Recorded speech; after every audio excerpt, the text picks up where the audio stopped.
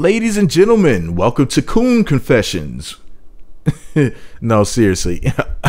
so, some self snitch named Jay Nate allegedly robbed the house of legendarily skinny rapper Big Sean. Now, I have no idea of whether or not he really did this, but that's what this guy claims on social media. His name is underscore J Nate.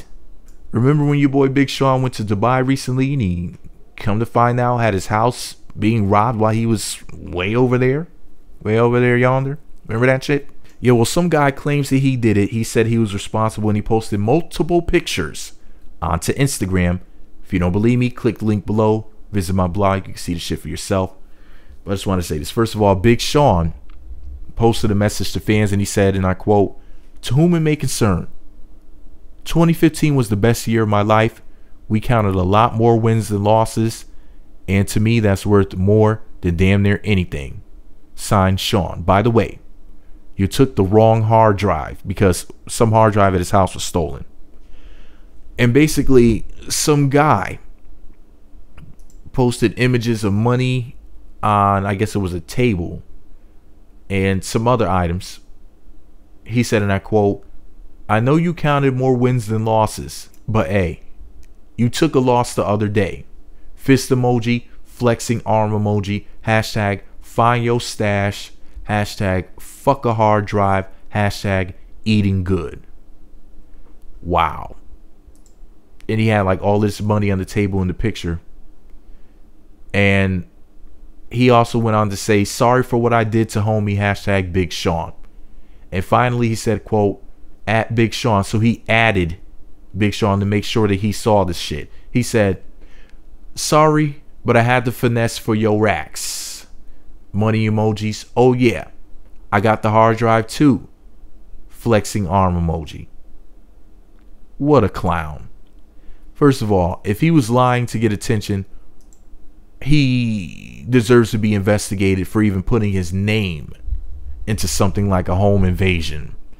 And then to top it off, if he if come to find out he is telling the truth, hey man, he should have shut his mouth or forever hold his butthole. I hope you go to jail, motherfucker.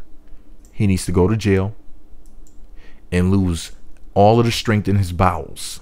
No, I'm kidding. I'm just fucking with you. No, but seriously.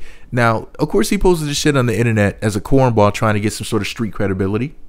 But we all know, at the end of the day, black women women will find this sort of thing attractive. You know, they'll see this dude cooning and buffooning out there, talking about how he committed this robbery, and some black chick will be attracted to that foolishness, being a self snitch and being an idiot. You know, this is why I'm marrying a Japanese woman. You see, a Japanese woman would never be attracted to such gutter butt trash. A Japanese woman would just throw up the peace sign and say shin shin, and she would tell him, you are a fucking fool. And then never speak to him again. But this is all my opinion. Let me know what you think about it all below. Be sure to subscribe to the Meet Magazine YouTube channels. Visit meetmagazine.blogspot.com. Follow me on Twitter at Meet Magazine. For the record, all this street shit, gang banging, robbing, and whatever else you weirdos and clowns from the streets are doing, you're real outdated. It's about to be 2016. There's a lot of shit that's outdated, bruh, bruh. Being from the streets is outdated. Being stupid is outdated. Not knowing how to speak proper English is outdated. Smoking weed, outdated. Being in a gang, definitely outdated. In fact, gang banging is about as outdated as wearing a furry hat, a mink coat, some bell bottom pants, and platform shoes with a goddamn fish tank in the heels with a dead goldfish at the bottom of the shoe. Being a gang member is that outdated. That shit is whack. It's about to be 2016 out this mofo. And ain't nobody got time for that. Definitely not meetmagazine.blogspot.com, Meet Magazine on YouTube, Meet Magazine on Twitter. Nope. So grow up, stop acting like a little bitch, and just think about it like this. Whenever you want to do something stupid, you just missed out on a Japanese woman, aka heaven. Meet Magazine.